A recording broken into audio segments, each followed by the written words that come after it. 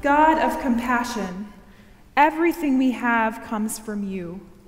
Your giving knows no ending, and in awe and in thankfulness, we return to you a portion of what you have given to us. Receive and bless these gifts for the work of your kingdom, that through the mission and ministry of our church, new life and hope might be breathed into a world that desperately yearns for you.